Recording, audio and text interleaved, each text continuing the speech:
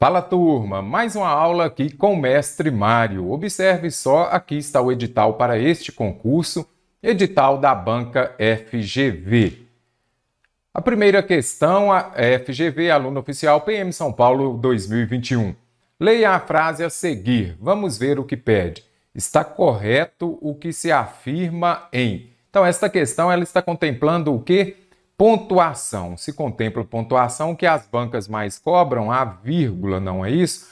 Quando eu uso a vírgula e quando não devo usá-la.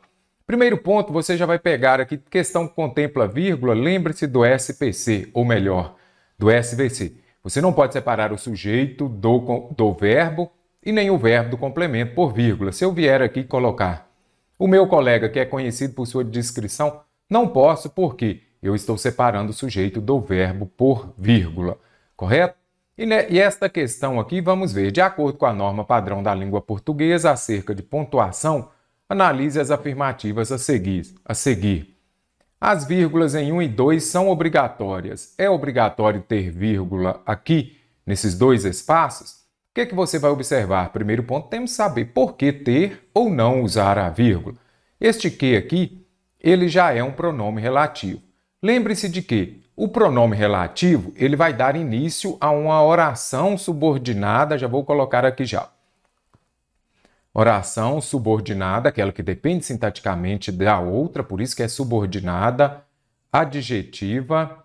Aí podem ser duas, a restritiva e também a explicativa. Então nós temos duas orações subordinadas adjetivas a restritiva e a explicativa. Vou pegar uma frase aqui, por exemplo, os jogadores é, que ganham muito, que ganham muito, que ganham muito, chegaram. Então, o que, que você vai observar aqui? Primeiro ponto, identifique o que? Os jogadores que. Este que aqui é um pronome relativo? Sim. Pronome relativo é aquele que retoma o substantivo anterior. Então, ele está retomando o termo substantivo os jogadores. Olha aqui para você ver, você pode até retirá-lo. Eu falaria, os jogadores ganham muito. Aí não tem problema. Então, este pronome relativo agora tem de ter vírgula ou não? Eu vou colocar as duas vírgulas. Os jogadores que ganham muito chegaram. Neste caso aqui, quando eu coloco com vírgula, ela é o que? Explicativa. Aí você vai se lembrar do alfabeto. O C vem perto do E. E a restritiva, ela virá sem vírgula, porque o R vem perto do S. Então, se eu for usar a vírgula, esse termo aqui é um termo acessório. Ele vem para explicar quais jogadores, aqueles que ganham muito. Termo acessório você pode retirar, inclusive os jogadores chegaram. Acessório não é isso? Um brinco, um cinto? Você pode retirar. Este termo acessório aqui, neste caso que veio entre vírgulas, está tendo uma função explicativa. Mestre, agora retire a vírgula. Os jogadores que, ganhar, que ganham muito chegaram. Você vai observar, quando vem sem vírgula, é restritiva. Por quê? Está restringindo aqui quais jogadores? Somente aqueles que ganham muito. Então, depender, vai depender de quem está escrevendo e também do contexto. Quando a gente volta à questão aqui, é importante você observar que é para ler a frase. Ela não foi retirada do texto, ela não tem um contexto no qual está inserida. O que você tem de observar? É obrigatório ou não usar a vírgula? O meu colega, se eu colocar as vírgulas, que é conhecido por sua discrição e austeridade, aqui tem uma função explicativa. E se eu não colocar a vírgula, terá uma função o quê? Restritiva. Então, neste caso aqui, eu não sei qual é a função. Pode, podem ser as duas, que pode ser a explicativa ou restringir também ao meu colega, ok? Então, neste caso aqui, as vírgulas são obrigatórias? Não, porque eu posso ter esta mesma frase explicativa e esta mesma frase restritiva. Em três é possível inserir uma vírgula. É possível aqui colocar vírgula? É, o meu colega tem uma boina pendurada e isso me pegou de surpresa. Pode ou não? Observe que esse i, esse e é uma conjunção aditiva. Aí você vai falar assim: "Ah, mestre, mas eu já sei que eu vou usar a vírgula antes da, de quais coordenadas? Vamos anotar aqui. Antes das conjunções coordenativas ou coordenadas, aditiva, não sei. Adversativa, eu sei que uso a vírgula antes do mas, porém, contudo. Alternativa também, olha o ou lá, posso usar a vírgula antes? Sim. Alternativa, a conclu... antes das conclusivas, olha o pois. E antes também das explicativas. E aditiva, pode ou não pode, hein? Você já sabe disso? Então vou colocar aqui embaixo também. As aditivas você vai usar somente quando forem sujeitos diferentes. Neste caso aqui nós temos sujeitos diferentes, vamos identificar então. O meu colega que é conhecido tem uma boina, então quem tem uma boina? O meu colega. E isso me pegou de surpresa. O que que me pegou de surpresa? Isso, isso é sujeito. Então, quando nós temos aqui na mesma frase, na mesma oração, sujeitos diferentes, eu vou usar a vírgula antes do e. Pegue o seu caderno, utilize também a metodologia, pare o vídeo, resolva a questão, depois assista a minha correção. Ah, tem dúvida? Deixe aqui nos comentários também. Então, a 3, a 2 está correta, é possível inserir uma vírgula. A inserção de uma vírgula em 4 é facultativa? Vamos ver. Isso me pegou de surpresa quando? Quando eu já sei que aqui é uma conjunção o quê? Neste caso aqui é uma conjunção adverbial. Quando eu tiver uma oração subordinada adverbial e essa é temporal, oração subordinada adverbial, e ela vier depois da oração principal, o uso da vírgula é facultativo, porque você pode ou não usar. Por exemplo, se eu disser, ela chegou quando eu já tinha saído, você observa, tem a oração principal, tem a oração subordinada. Quando ela vem depois da principal, é facultativo, certinho? Enquanto em 5 é obrigatório. Primeiro ponto. Pegou de surpresa quando a vi por meio da webcam. Esse por meio da webcam aqui eu tenho o quê? Um adjunto adverbial. Como eu a vi? É o modo, não é isso? Por meio da webcam. Então, quando eu tenho um adjunto adverbial e ele vem no final da frase, aí vai nos remeter àquela velha Suveca, que é a ordem direta das frases. Sujeito, verbo, complemento e o adjunto adverbial. Quando esse adjunto adverbial vem no fim da frase, na ordem direta, o uso da vírgula é facultativo, não é obrigatório. Ah, mas mestre, se fosse assim, ó. Isso me pegou de surpresa quando, por meio da webcam, a vi. Aí eu teria que usar a vírgula. Por quê? Neste caso, o adjunto adverbial estaria deslocado, ele estaria entre o verbo e o complemento. Se ele estiver entre o verbo ou o complemento, ou entre o sujeito e o verbo, ele virá separado por vírgula. Então aqui não é obrigatório, aqui é facultativo por quê? Porque ele está no final da frase, facultativa aqui então. Descarto a 3, somente a 2 está correta. Aí você pode falar, mestre, mas aqui, neste caso aqui, eu tenho uma oração subordinada adverbial. Ela é o mesmo que um adjunto adverbial? Sim, ela exerce a função de adjunto adverbial. Quando ela estiver deslocada, ou seja, no início ou no meio da frase, virá separada por vírgula. Aqui é bem interessante você também observar o pronome relativo que. Os homens ficam felizes quando veem uma nova estação se aproximar. As duas frases, elas mostram respectivamente Causa e efeito, condição, ação, opinião, justificativa. Gente, quando tiver causa na alternativa, você vai se lembrar do mestre Mário e já vai vir aqui colocar primeiro. Consequência, você vai colocar segundo. Ou seja, a causa leva a uma consequência, ok? A causa leva a uma consequência. Se eu pegar aqui, por exemplo, este exemplo famoso, choveu porque, esse porquê aqui é junto, tá? Vamos colocar aqui, porque a rua está molhada. Vamos voltar aqui também, porque a rua está molhada. Primeiro, choveu ou primeiro a rua molhou? Primeiro choveu. Então, esse choveu aqui é a causa. Ela vai levar a qual consequência? A rua ficar molhada. Então, aqui eu já tenho uma consequência. Então, a causa ocorre primeiro e leva a uma consequência. Vamos ver. Os homens ficam felizes quando veem a nova estação se aproximar. Primeiro, eles ficam felizes ou eles veem? Primeiro, eles veem uma nova estação se aproximar. Então, aqui eu já sei que é a causa, aquilo que ocorre primeiro é a causa. Primeiro você ganha na loteria, primeiro você passa no concurso para depois ficar feliz.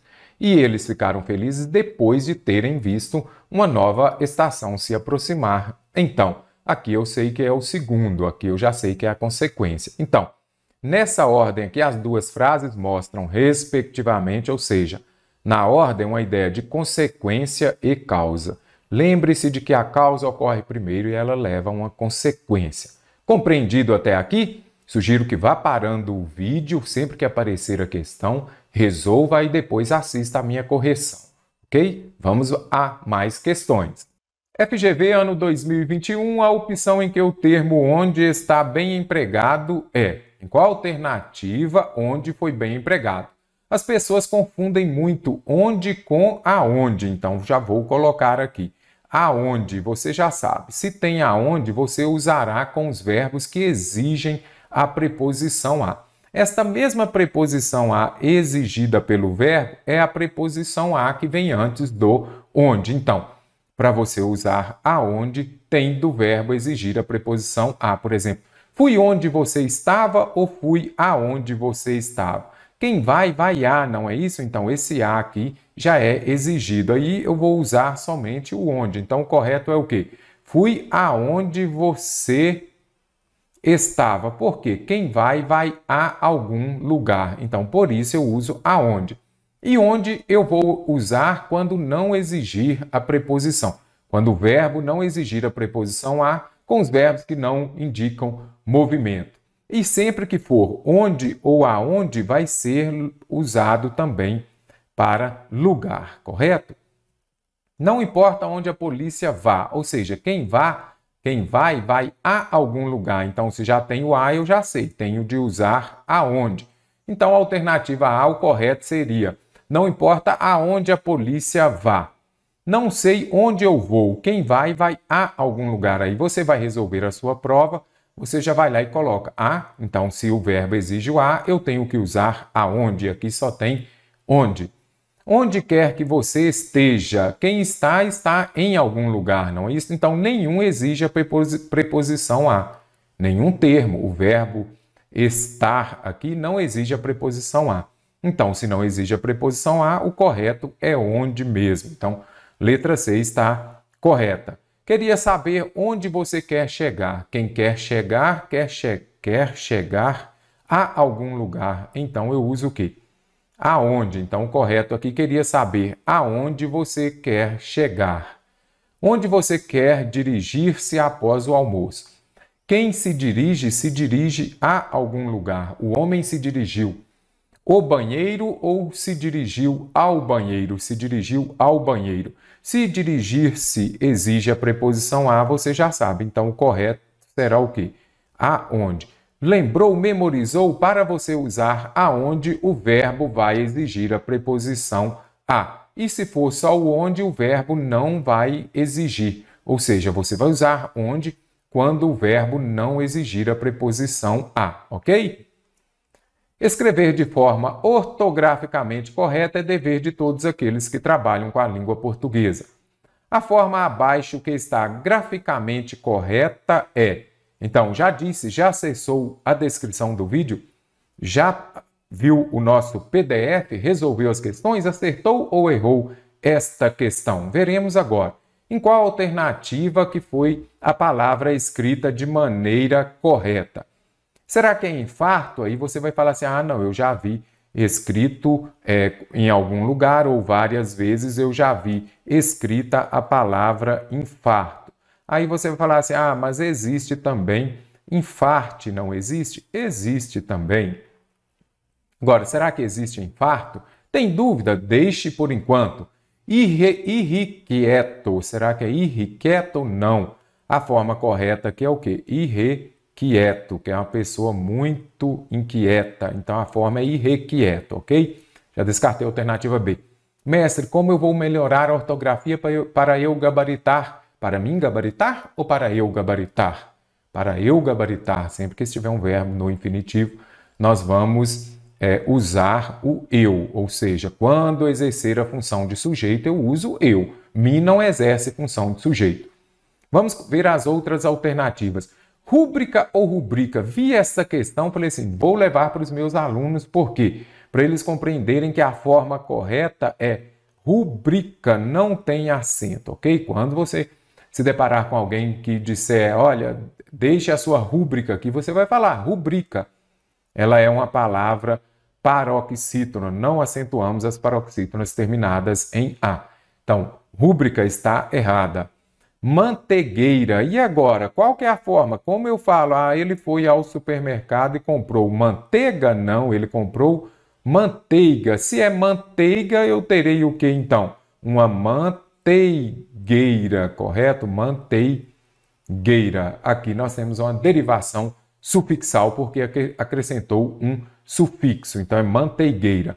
Ponteagudo não, o correto é o que? Ponte agudo. Isso aqui é uma composição por aglutinação, glute-glute, porque pegou alguma letra. Então a forma correta é pontiagudo. Então, restou aqui infarto. Como melhorar o vocabulário? Lendo, lendo, lendo muito. Então, infarto está correto. Achei essa questão um pouco mais puxada. Eu posso falar infarto, infarte, infarto ou, ou o que também? Enfarte, correto? Então, são várias possibilidades infarto, enfarte, infarto e também infarte. Acertou esta questão? Questão também de nível médio FGV. A frase de Henry Ford foi traduzida com um erro gramatical, que é: onde está o erro? O emprego de mal em lugar de mal? Então, primeiro ponto, mal com U ou mal com L? Mal com L é o oposto de bem. Mal com U é o oposto de Bom, lembre-se disso daqui, é muito importante para você gabaritar questões sobre mal com U e mal com L. Então, vamos ver aqui se o emprego de mal com U no lugar de mal com L. Eu preciso encontrar o erro. Os velhos estão sempre aconselhando os jovens a guardar dinheiro. Digo que este é um mau conselho, digo que este é um bom conselho. Então, mal com U aqui foi empregado de maneira correta. Então, o correto aqui mesmo é mal com U. Eu preciso de erro, aqui está correto. Em si mesmo em lugar de em si mesmos, vamos ver? Digo que este é um mau conselho, não guardem um centavo, invistam em si mesmo apenas. Primeiro ponto, invistam. Aqui eu estou fazendo o quê? Dando um conselho. Se o verbo está no imperativo, é porque está dando um conselho, uma ordem, uma sugestão. Compre batom verbo no imperativo.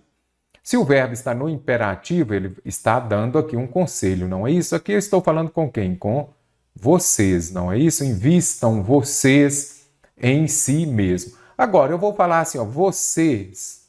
Aí nós vamos simplificar. Vocês mesmo? Não. Eu vou falar o quê? Vocês mesmos. Por quê? Tem dúvida se o mesmo é invariável ou não? Substitua por próprio.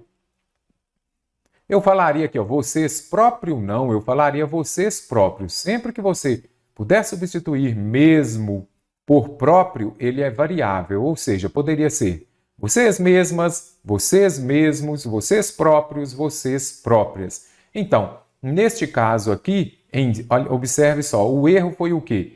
Quando usou mesmo no lugar de mesmos. Então, o correto seria o quê? Invistam em si mesmos, porque vocês mesmos, vocês próprios. Agora, o mesmo, quando for no sentido de, vamos colocar aqui realmente, vamos colocar aqui mesmo, no sentido de realmente, você já sabe, é invariável. Isso é um que? Um advérbio. Mesmo quando puder ser substituído por realmente, é invariável. Então, a alternativa B vai gabaritar a questão, porque aqui tem o erro gramatical. O correto seria é, invistam em si mesmos. Sequer em lugar de sequer, sempre pode, sempre que aparecer lá, por exemplo, senão junto ou separado. Sempre que você quiser saber se é junto ou separado, quando for separado, que seja senão ou então, por exemplo, o sequer, Vem aqui e substitua o se por caso. Por quê? Aí seria o quê? Uma conjunção condicional. Então, sequer vamos encontrar aqui. Eu nunca economizei um dólar sequer antes dos 40 anos. Então, aqui está correto porque é junto. Se fosse separado, eu posso substituir aqui, ó. Eu nunca economizei um dólar caso quer antes dos 40, não. Se o se for separado, ele pode ser substituído por caso. Como não pode ser substituído por caso, aqui é sequer junto. A má colocação de apenas na frase, vamos ver aqui. Invistam em si mesmo, em si mesmos apenas. Aqui não, o apenas também está correto. A redundância desnecessária de em deidade, redundância é quando você vai repetir, então você vai falar algo que já foi dito anteriormente. Por exemplo, lá nosso querido Raul cantando Eu nasci, vamos colocar aqui há 10, vou colocar aqui há 10 mil anos atrás. Observe aqui, ó, não precisa, por exemplo, de colocar o atrás, por quê? O A não indica tempo passado? Se o A indica tempo passado, eu já sei que é tempo anterior, tempo para trás. Então, isso aqui vai ser uma redundância. Eu nasci há 10 mil anos, ok. Ou então, eu nasci há 10, ou melhor, eu nasci 10 mil anos atrás. Um ou outro. Então, vamos ver se o de idade, observe só. Você quer antes dos 40 anos de idade. Eu poderia retirar o de idade? Não, não é uma redundância. Porque eu poderia falar, eu nunca economizei um dólar sequer antes dos 40 anos do meu pai. Não, é importante, então, isso aqui é necessário, não é redundância desnecessária em de idade. Precisamos ter a expressão de idade, ok? Então pare o vídeo agora, vamos ver se você vai gabaritar esta questão. Agora que você já resolveu, qual alternativa marcou? Vamos para a resolução dela. Disse da melhor companhia. Sua conversa é instrutiva, seu silêncio formativo. O emprego da vírgula é justificado na frase acima pela mesma razão em que ocorre na seguinte frase. Primeiramente, temos de compreender. Disse da melhor companhia. Sua conversa é instrutiva. Dois pontos. Seu silêncio formativo. Por que utilizamos esta vírgula aqui? Porque fizemos a supressão, retiramos um termo.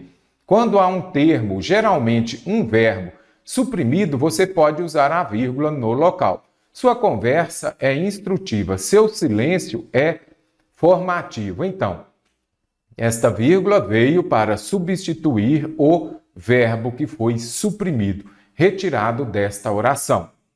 A imaginação não faz castelos no ar, mas então aqui eu tenho a vírgula antes de uma conjunção coordenada adversativa. Você já sabe, antes das coordenadas eu uso a vírgula, exceto a aditiva. Mas mesmo assim, se aparecer o é e forem sujeitos, vou colocar aqui, anote aí no seu caderno, quando eu uso a vírgula antes da conjunção aditiva aí, quando forem sujeitos diferentes e também para evitar ambiguidade. Ah, o que as bancas mais cobram? Sujeitos diferentes. Então aqui já descarto a alternativa A. O homem ama a companhia, mesmo que aqui nós temos o que? Uma conjunção, uma oração subordinada. Quando tiver uma oração subordinada e ela estiver depois da oração principal, o uso da vírgula é facultativo. Então, aqui usou não tem problema usar, mas nós queremos uma que esteja sub, é, substituindo um verbo, onde o verbo foi suprimido. Então, por isso eu descarto a alternativa B, porque o uso dessa vírgula foi justificado porque veio antes de uma oração subordinada, mesmo que seja apenas a de uma vela que queima. Para o desesperado, a partida não parece menos impossível do que o retorno. Observe só. Aqui nós temos o que? Tem vírgula. Primeira coisa que você vai se lembrar é de que você não pode separar o sujeito do verbo e nem o verbo do complemento por vírgula. E é importante também você se lembrar de que da ordem suveca, a ordem direta das frases. Eu tenho o sujeito, a partida, então vou colocar aqui sujeito, não é isso? O ver, o verbo, não parece, verbo, suveca, e aqui eu tenho um complemento. Ela não parece o quê? Menos impossível do que o retorno. Eu tenho um complemento. E aqui está faltando o A da suveca, não é isso? Vou deixar aqui somente o vé e aqui somente o su. Então, suveca. Cadê o A? O A é o adjunto adverbial. Este adjunto adverbial, quando ele vem deslocado, seja para o início ou intercalado no meio da frase, ele virá separado por vírgula, adjunto adverbial. Então aqui não é por este motivo. Ai de quem é só, pois se cai não tem quem o levante. Este pois aqui nós temos o quê? Uma conjunção coordenada, não é isso? Então eu uso vírgula antes das conjunções coordenadas explicativas. Vou colocar aqui. Explicativas, não é isso? Então eu uso vírgula. Não é por esta razão. Então, beber pouco é bom, não é isso? Olha o verbo aqui. Não beber é trágico. Então, esta vírgula vem para substituir o verbo que foi suprimido. Então, a alternativa é gabarita a questão, porque foi empregado, essa, essa vírgula foi empregada pelo mesmo motivo. E então, turma, mais uma questão da FGV de nível médio. Pare o vídeo, vamos ver se você vai gabaritá-la. Agora vamos à resolução dela. Segundo a norma culta, assinale a frase em que o demonstrativo sublinhado está bem empregado. Nada é gratuito nesse mundo ou neste mundo. O correto é o quê? neste mundo, não é isso? Porque é o mundo atual, o mundo presente, algo que é presente, você já sabe que é atual, que ocorre neste momento, você vai usar neste. Quando você for usar este, esse, essa, isso, você vai saber que se refere ao passado. Então, os dois S's aqui de passado são os mesmos dois S's de esse, essa e isso, ok? É preciso sempre desculpar-se por ter agido bem. Nada fere mais do que isso. Então, o que, que é isso? Nada fere mais do que o quê? Olha aqui, desculpar-se por ter agido bem. Acabei de falar que o isso, os mesmos dois S, são os dois S da palavra passado. Então, anáfora e catáfora. Anáfora, aquilo que ocorreu antes. Então, nada mais fere do que isso o quê? Vou fazer uma seta aqui, ó, do que desculpar-se por ter agido bem. Então, o isso está se referindo a algo que foi dito anteriormente, realmente com dois S's. O correto é isso. Marido e mulher amavam os hóspedes porque sem aqueles acabavam brigando. Primeiro ponto, aqueles quem? Só pode ser aqui os hóspedes, não é? Agora, quando estiver é, relatando, quando estiver tratando de que? Dos referentes, aí você vai anotar aí já e já saber. Este é aquele mais perto. E aquele é aqui é usado para o termo que vem antes, que vem por último, aquele termo, vou colocar aqui aquele que vem primeiro na frase. Então, muito importante. Este é aquele mais perto. Agora, marido e mulher amavam os hóspedes, porque sem aqueles eu já sei que está se referindo aqui aos hóspedes, não é isso? Sem aqueles acabavam brigando. Então, por quê? Aqui você já vai observar que, como está se referindo a hóspedes, hóspedes veio mais perto, não é isso? Vou colocar aqui aquele que veio por último na frase, você vai usar o quê? Este. Então, o correto aqui seria o quê? Porque sem estes acabavam brigando e não aqueles, correto? Isto que é estrangeiro tem sempre uma aparência aristocrática para nós. Soa estranho, não é isso? O correto seria o quê? aquele que é estrangeiro, aquele que é bom, aqui é naquele sentido geral, no sentido generalizado, você já sabe, você vai usar aquele. Isto teria que estar se referindo a um termo que vem posterior. Não quero que as pessoas sejam muito, muito gentis. Isto me poupa do trabalho de gostar muito delas. Isto o que? Isso aqui, o que que poupa e o que que me poupa do trabalho de gostar muito delas? as pessoas serem muito gentis. Então aqui é um termo anterior. Quando se refere a um termo anterior, eu já sei que eu tenho que usar isso. Por quê? Porque o termo já foi passado, já foi citado antes, os mesmos dois S. Então, isso me poupa do trabalho de gostar muito delas. Então, concursando, está gostando da nossa aula? Inscreva-se agora mesmo neste canal, ative o sininho para receber a notificação de todas as nossas aulas. Trarei aqui a série que sempre há neste canal, Edital Total, onde estudaremos e resolveremos questões sobre todos os assuntos contemplados na parte de português no edital. E vamos estudar mais. FGV, questão para o concurso do IBGE. Uma manchete do estado de São Paulo dizia o seguinte: Atentados contra cristãos matam no Egito e país decreta emergência. As duas orações. Primeiro, para ser uma oração, precisamos ter um verbo. Então já vamos identificar aqui: matam e decreta. Vamos identificar o sujeito?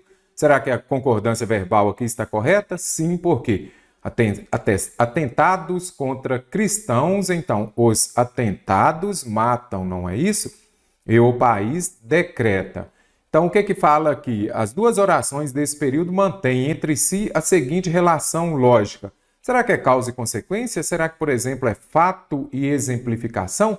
Está dando um exemplo aqui: atestados contra cristãos matam 44 no, Egito e país decreta emergência. Já sei que não tem uma exemplificação. Causa e consequência, na sua prova provavelmente terá causa e consequência, então você já vai se lembrar de que a causa ocorre primeiro e a causa vai levar a uma consequência. Mesmo que apareça que seja dentro de conjunções, que seja dentro de advérbio, lembre-se disso daqui. A causa vai levar a uma consequência, correto? Então, o que, é que você já vai identificar aqui? Os atentados matam e depois o país decreta emergência. Qual das ações ocorreu primeiro? Primeiro você tem o atentado, não é isso?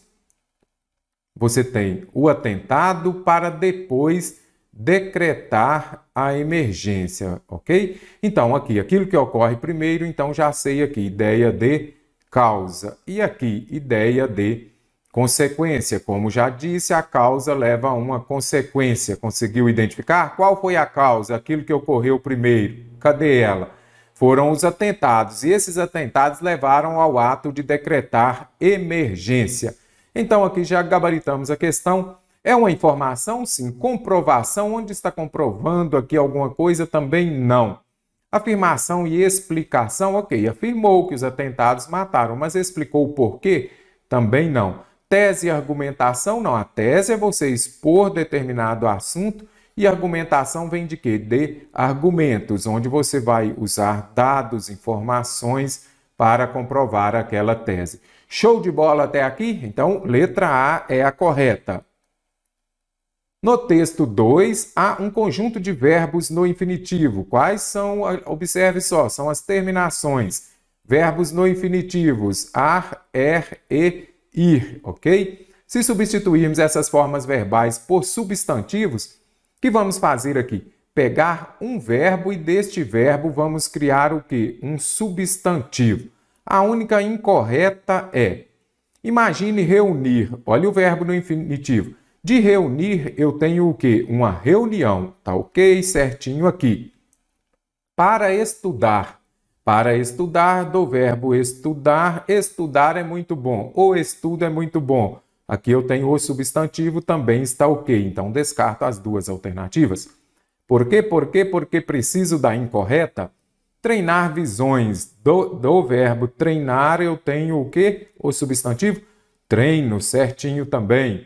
Eu vou colocar aqui padrão, uma forma de estar na vida, uma forma de estada, certinho. Então, a, do verbo estar, nós temos o substantivo estada, certinho?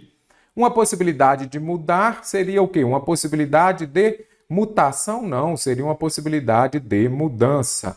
Então, você precisa mudar, você precisa de mudança. Então, a alternativa é que está errada, que ao invés de mutação, eu colocaria o quê?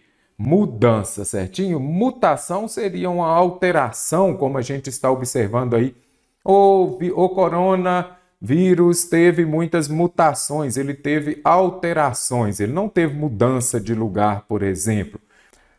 No texto, a frase, mas o pontapé inicial é sempre das empresas de conteúdo.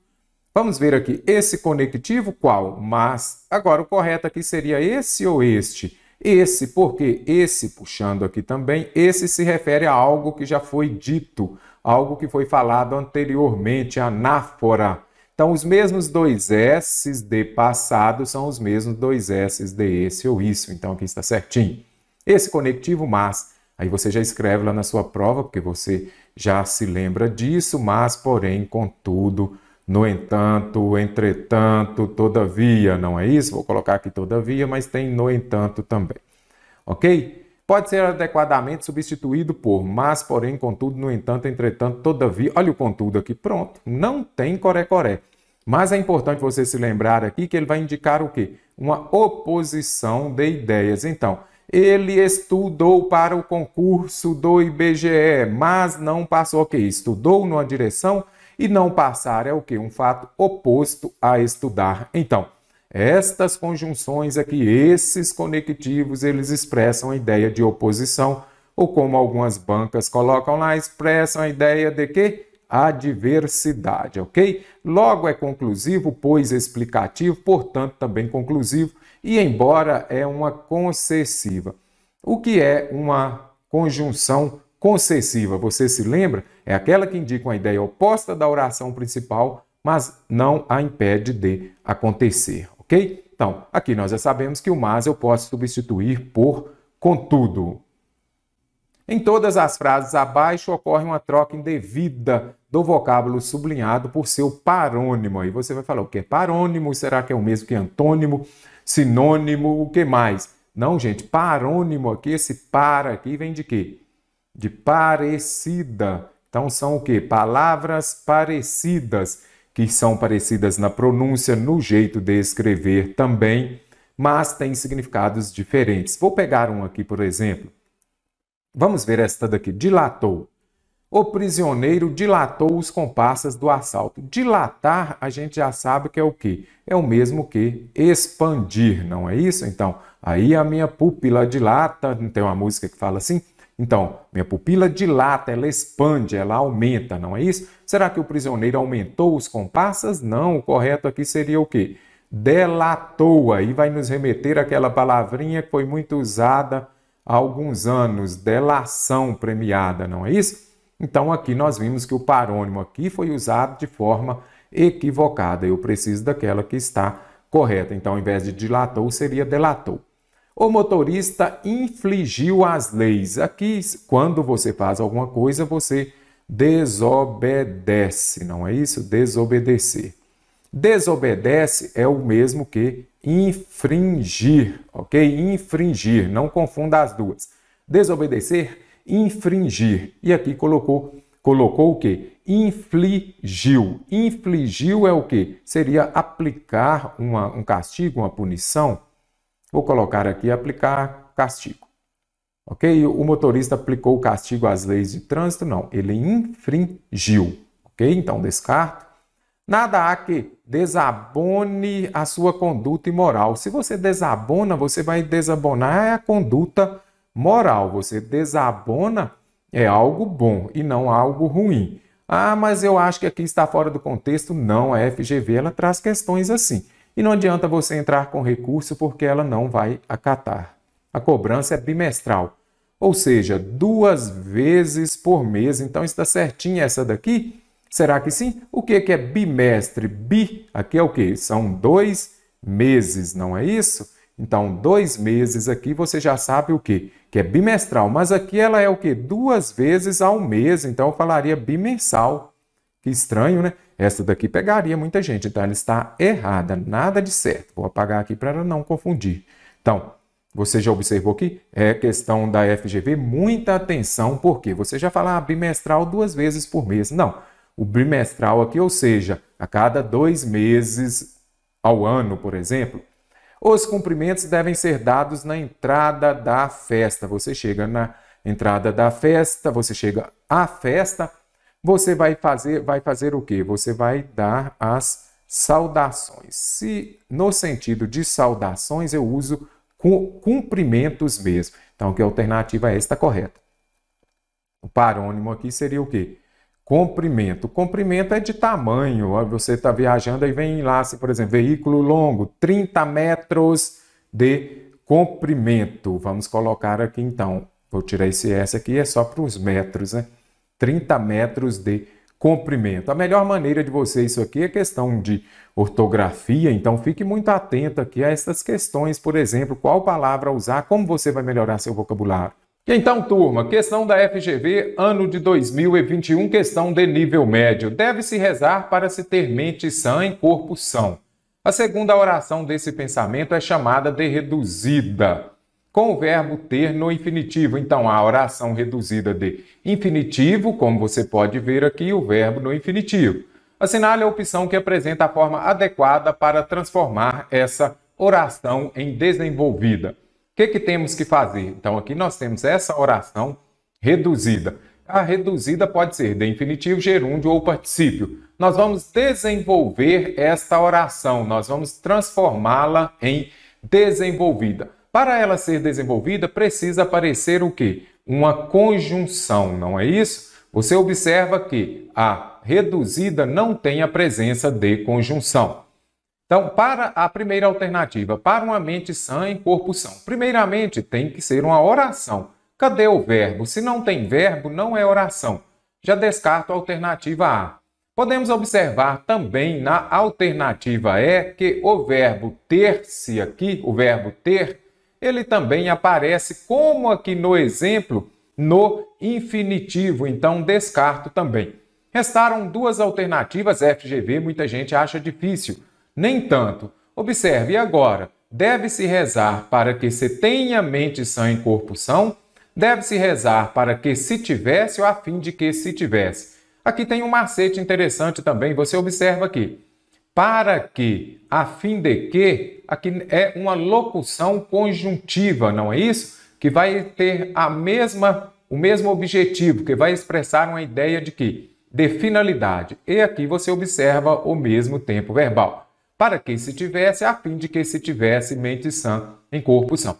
Se a C estivesse correta, a D também estaria, porque aqui nós temos a mesma locução conjuntiva que vai expressar uma ideia de finalidade, tanto na C quanto na alternativa D. Se fosse a C, seria a D. Se, como só pode ter uma resposta correta, descarto as duas. Então, alternativa B está correta. Por que a alternativa B está correta? Você vai observar que nós vamos desenvolver e quando a gente desenvolve essa oração, observe aqui, aqui já apareceu a locução conjuntiva, não é isso? Observe aqui.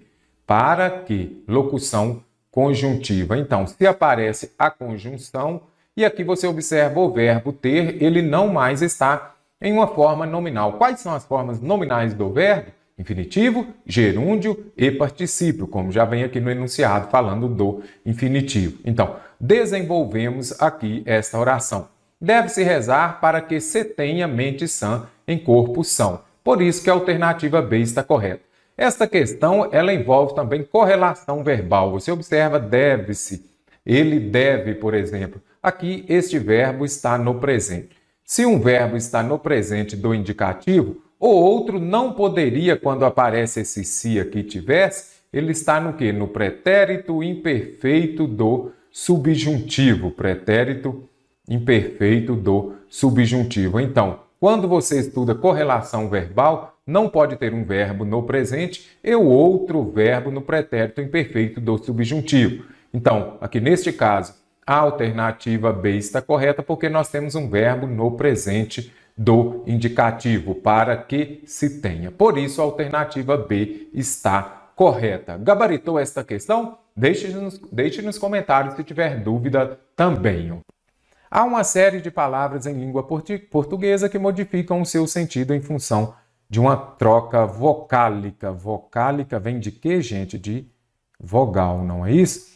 Esse fato só não ocorre em. Então, aqui nós temos o quê? Palavras parônimas. O que são palavras parônimas? Parônimas vêm de parecidas, são palavras que são semelhantes na escrita e também na pronúncia, ou numa ou noutra também. Deferir e diferir. Vamos compreender o enunciado. Vamos nos lembrar do enunciado. Observe. Esse fato só não ocorre em. Então, aqui há algumas palavras na língua portuguesa que modificam o seu sentido em função de uma troca vocálica só não ocorre em qual alternativa que vai ter o mesmo significado. Deferir ou diferir. Diferir aqui vai nos remeter a quê? A diferente, não é isso? Diferenciar. Se vou colocar aqui. Diferir vem de quê? De difer... Vem de quê? De diferente, não é isso? Deferir, o juiz deferiu a sentença. É quando faz algo a favor de alguém, ok? Então, aqui, quando eu troquei esta vogal E pela I, ocorreu a alteração, modificou o sentido da palavra. E eu preciso de uma em que não modifique. Ok? Infarte e infarto. Vamos colocar aqui: infarte e infarto. Trocou o significado? Não, as duas aqui significam a mesma coisa. Então, a alternativa B vai gabaritar porque eu posso falar infarte, infarto. Acabamos de ver também o que? Enfarte e infarto. Memorizou? A aula de hoje está sendo bastante interessante. Ortografia muito amplo o assunto. Emergir vai nos remeter aqui ao, ao país emergente. Se é emergente, é porque ele está subindo, ele está se desenvolvendo, não é isso? Aqui, se eu vier e colocar imergir, é para baixo. Vou colocar aqui afundar. Então, aqui alterou o sentido a troca do E pelo I. Descrição e discrição. Discrição vem de que ele é um rapaz discreto, pois tem, des, é, pois tem discrição. Então, discreto e descrição vem de quê? Descrever. Então, você já se lembrou de que, neste caso aqui, vai também interferir, trocar o E pelo I. Eminente e iminente. Aqui vem uma dica. Eminente, o mesmo E de eminente é o E de elevado. E o I de iminente vai ser o I de imediato. Memorize, anote aí no seu caderno. A FGV gosta bastante de cobrar eminente e iminente. Lembrou? Eminente, elevado. Iminente, imediato. Também altera. A única que não altera é infarte e que eu posso falar também infarto. As duas formas são aceitas. Vamos ver o que pede. No texto, o problema gramatical está. O que é o problema? Onde está o erro de gramática, não é isso? Vamos ver aqui então. Na forma verbal, tem na primeira linha do texto. Vamos ver aqui. Estima-se que 85% da população tem. Será que está errado aqui? Então nós temos que saber, gente, isso daqui está envolvendo concordância verbal. Se tem concordância verbal, a primeira coisa que você vai fazer é concordância verbal. Você vai pegar e identificar o verbo e fazer a pergunta: quem tem, teve dor nas costas? 85% da população. Então, será que o erro está na forma verbal? Tem? Eu tenho que eu deveria colocar no plural ou não? Será que sim ou não? Primeiramente, vamos compreender esta regra de concordância. Então, 85% aqui nós temos uma regra que envolve porcentagem. Quando eu tiver o sujeito que tem uma porcentagem seguido de um substantivo, de um determinante, o verbo pode ficar no singular, concordando com. Deixa eu colocar aqui porque está bem ruim aqui a letra. Tem.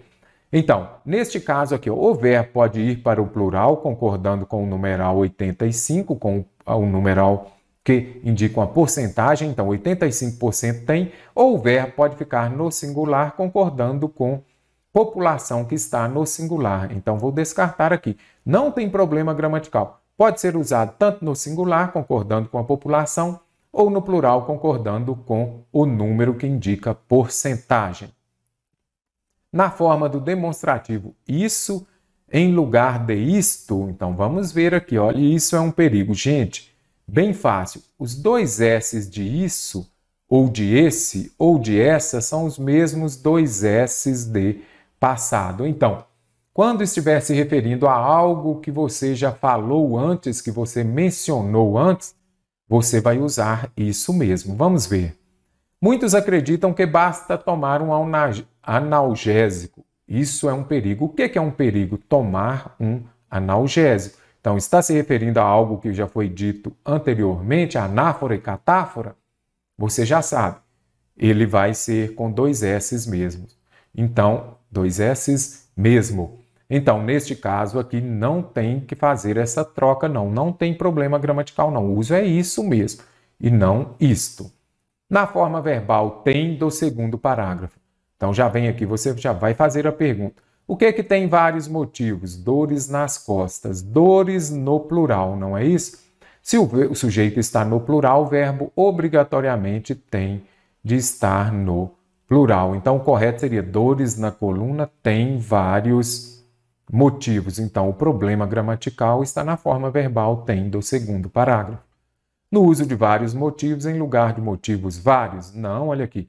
Dores nas costas tem vários motivos, tem motivos vários, não tem problema. Então, neste caso aqui, não há uma incorreção, não está errado. O correto mesmo aqui é vários motivos, ok? Então, dores na coluna tem vários motivos. Eu não tenho que usar é, motivos vários, não. Então, ali da forma que já foi feita está correta, não tem problema gramatical. No emprego de um especialista por especialistas, está errado usar especialista? Não. Só um especialista pode diagnosticar certinho, não tem erro nenhum. Eu poderia falar só especialistas podem diagnosticar? Poderia falar, mas eu usei aqui só um especialista. Não tem erro, não tem problema gramatical. O único que tem erro gramatical aqui é a alternativa C. Por isso que ela gabaritou a questão. Assinale a opção que mostra a frase cuja lacuna deve ser preenchida com a primeira das formas entre parênteses. Cavalheiro é o que? É um homem gentil, não é isso? Lady and gentlemen, damas e cavalheiros. Cavaleiro aqui é aquele que anda a cavalo, que é o masculino de Amazonas. Então, Cavaleiro ou cavalheiro é um homem que jamais bate numa mulher. Cavalheiro. Então, cavalheiro é um homem que jamais bate numa mulher. Nem vou ler o resto da frase porque não há necessidade. A indústria, então já descarto aqui porque eu preciso da primeira forma. A indústria do vestiário, vestiário é o lugar onde as pessoas, os jogadores se vestem. E agora, vestuário aqui são as peças das roupas. Observe só, a indústria do vestuário se beneficia do sexo. Ou você acha que as pessoas andariam com os jeans apertados desse jeito se não fosse pela conotação sexual? Então, vestuário aqui vou colocar relacionado às peças de roupa. Então, neste caso aqui, a indústria do vestuário, das vestimentas, das roupas, vestuário, vou colocar aqui o mesmo que roupas, vestiário, onde os jogadores se trocam, por exemplo. A diminuição ainda há pouco disse que eminente, o mesmo é, é o mesmo é de elevado. Iminente vai ser o mesmo i de imediato. Então vamos ver aqui.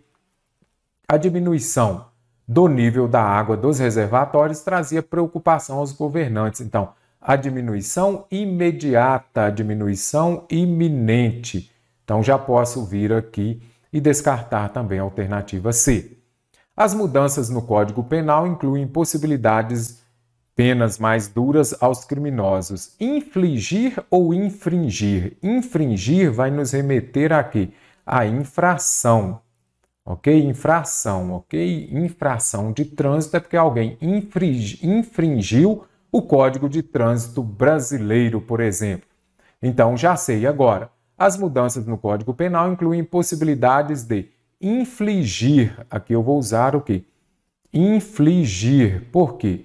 Porque é aquilo de aplicar penas. Olha o mesmo L aqui de aplicar. Então, vou colocar aqui, ó, aplicar penas mais duras aos criminosos. O mesmo L de infligir é o mesmo L de aplicar penas. Fica aplicar pena. Fica fácil também você se lembrar de quê? Que o infringir, o mesmo free FR, vai ser o mesmo FR de infração, que é quando, quando você desrespeita algo. As novas medidas presidenciais vieram agora. E agora? Retificar ou ratificar? Retificar, vou colocar aqui, ó, é, por exemplo, a retífica de, mo de motor, que é o mesmo que consertar. Então, ele retificou o motor, ele consertou. Ratificar vai ser o mesmo que validar, reforçar. As novas medidas presidenciais vieram validar, reforçar o acerto das votações. Então, aqui o correto é ratificar.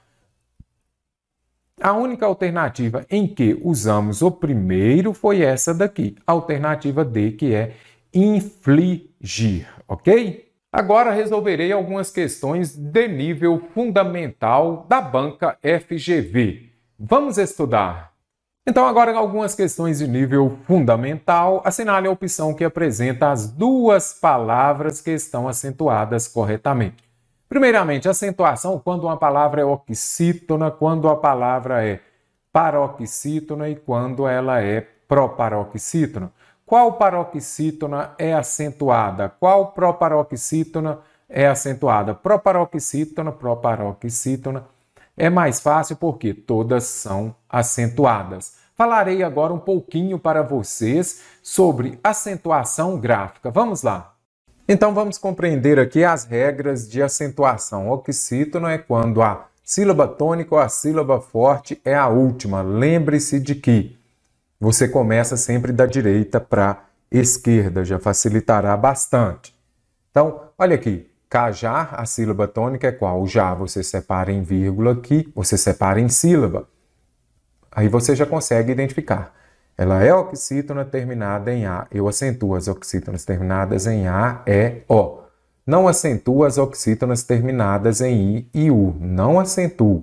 Acentuo as oxítonas terminadas em EM acentua elas, as oxítonas também terminadas em ens e aquelas terminadas nos ditongos abertos, ei e oia. E você vai falar, ah, mas o céu? O céu aqui não é oxítona, céu é um monossílabo tônico. Então, coloquei aqui justamente para ver se você se lembrava disso. Olha o monossílabo. O que é monossílabo? Uma sílaba. E as paroxítonas são aquelas palavras cuja sílaba tônica é a penúltima. Vamos lá, panela. Qual que é a sílaba tônica? Panela, panela ou panela? Panela. Então, é a penúltima, aí você já sabe. Ela é uma palavra paroxítona, que é uma palavra paroxítona quando a sílaba tônica é a penúltima. Pode ser acentuada ou não. Táxi tem acento porque ela é uma paroxítona terminada em I e também em U, seguido ou não de S, ok? Olha a panela aqui, ela é o que? Uma paroxítona terminada em A. Não acentua as paroxítonas terminadas em A, é O. Aí se você já é esperto, você vai falar, olha, eu acentuo as oxítonas terminadas em A, é O, e não I, U. Paroxítona é o contrário. Eu acentuo as terminadas em I e U e não acentuo as terminadas em A, E, O. Acentua as paroxítonas terminadas em R, em L, em X e agora, e hífen. Tem acento ou não tem? Eu acentuo as paroxítonas terminadas em N, não é isso? Quando você observa, vamos colocar aqui, ó, item e itens. E agora, quais têm acento? Qual tem acento? Então, acentua as paroxítonas terminadas em N não acentua as paroxítonas terminadas em NS. Aí você olha aqui e fala, mestre, mas olha aqui, por que, que próton tem acento? Eu já acentuo as paroxítonas terminadas em on e ons, mas terminada em Ns não. Por isso, hífens não tem acento, itens não tem acento. E item tem acento ou não? Reflita, sim ou não? Eu acho ou eu tenho certeza? Eu tenho certeza que não tem, porque eu não acentuo as, as paroxítonas terminadas em me, ou em aqui, tanto faz, ok? Então ficou mais fácil. Onus, ela é o quê? Uma paroxítona terminada em U, seguido ou não de S, olha aqui. Imã, também tem acento, órfãos, fórum, olha aqui, fórum é muito usado, aí você vai se lembrando das regras. E aqui nós temos as paroxítonas terminadas em ditongo. Essas paroxítonas terminadas em ditongo crescente, Olha aqui, ó. História. Não vou entrar no mérito aqui de alguns gramáticos considerarem a palavra história como proparoxítona. Por quê? Porque a proparoxítona momentânea que se fala, por quê? Porque a maioria das bancas, quase todas, consideram como uma paroxítona terminada em ditongo. Olha aqui, série mágoa. E agora, e Coreia, jiboia, tem acento? Não acentua as paroxítonas, olha aqui, os ditongos ei e oi das paroxítonas. Aí você vai se lembrar o quê? Esses ditongos abertos, ei e oi, nas oxítonas acentua. Nas paroxítonas não acentua mais. Ideia, olha aqui. Ideia, não tem acento. Olha aqui o ditongo aberto. Nas paroxítonas não tem mais acento. Esse é o novo acordo ortográfico. Muita gente acha, então não tem mais acento as palavras? Tem sim. Fique muito atento às re à regra dos das paroxítonas terminadas em ditongo crescente. Ditongo crescente é composto por uma semivogal mais uma vogal, ok? Proparoxítona é extremamente fácil, todas são acentuadas, a antepenúltima sílaba é a forte. Pan, mela, última, penúltima e antepenúltima. Então, a antepenúltima oxítona também. Oxítona aqui, oxítona, antepenúltima. Então, ela é uma proparoxítona. Monossílabo tônico, olha ele aqui embaixo. Você viu que eu coloquei aqui em cima só para você se lembrar e fazer essa diferença? Olha aqui, monossílabo, mono, um não é isso? São as palavras que possuem uma sílaba. Elas vão ser acentuadas quando terminam em A, aqui seguidos ou não de S. A, E, O e os ditongos abertos EI, OI e EL. Ok? Muito interessante você se lembrar desses ditongos abertos. Então, ditongo vai ser a junção de uma semivogal mais uma vogal ou uma vogal mais uma semivogal.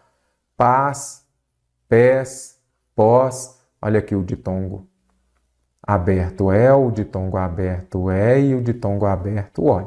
Então os monossílabos tônicos vão ser acentuados.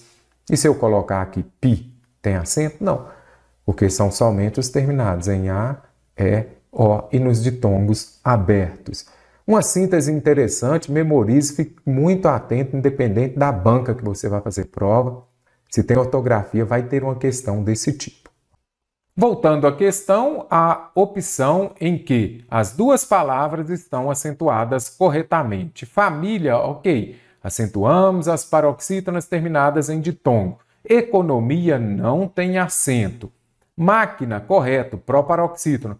Vou e vem, não, depois do acordo ortográfico, não mais acentua as palavras que possuem dois Os ou dois Es, por exemplo, vou, tem também enjoo, tem os verbos crer, de, lever, por exemplo, eles creem, que eles deem, crer, de, e que eles leem.